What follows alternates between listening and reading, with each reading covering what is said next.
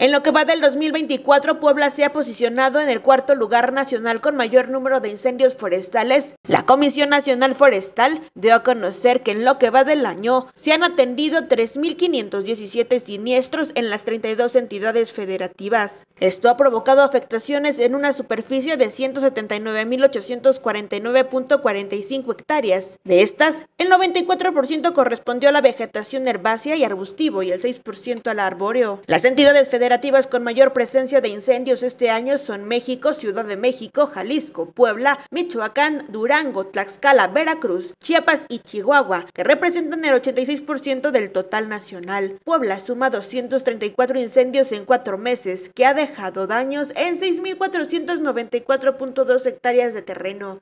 De la superficie afectada, 3.700 hectáreas son de origen herbáceo, 2.460 de arbusivo, 207 de renuevo y 111 de arbolado adulto, en tanto que el resto es de hojarasca. Las entidades federativas con mayor superficie afectada han sido Jalisco, Chiapas, México, Oaxaca, Guerrero, Durango, Michoacán, Veracruz, Puebla y Nayarit. Mientras que del total nacional de incendios forestales, 485 corresponden a ecosistemas sensibles al fuego, en una superficie de 24.178.97 hectáreas.